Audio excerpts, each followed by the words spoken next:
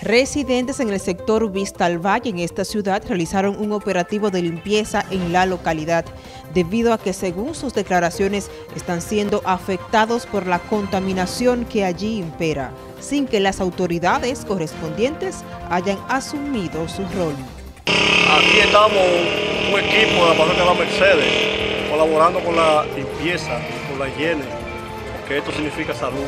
Es el primer operativo que estamos haciendo por lo que le pedimos a las autoridades que nos tengan presentes, que también sepan que son ellos están para, para limpiar y nosotros estamos colaborando con las autoridades. Este equipo, Dori Betance y José Acosta, eh, le pedimos a las autoridades que tengan compasión de nosotros, que nos están matando los mosquitos, la plaga y hasta la miseria.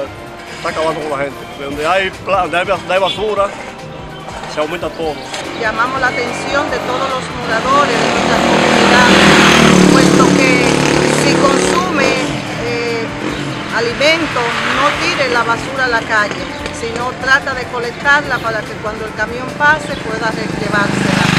Con esto queremos que se vaya imitando esta actividad para que nuestro barrio, que es bastante grande y de personas de buena voluntad, pueda seguir siendo un barrio.